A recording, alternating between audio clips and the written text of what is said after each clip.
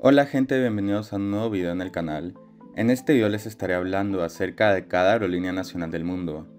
Antes de empezar el video, me gustaría aclarar que no todos los países tienen una aerolínea nacional y que esta no necesariamente tiene que ser propiedad del Estado. Si tienen alguna corrección o experiencia personal, la pueden dejar abajo en los comentarios. Como siempre, yo no soy el autor de ninguna de las fotos usadas en el video. Todo el crédito de las fotos va hacia sus respectivos autores. Sin más que decir, comencemos.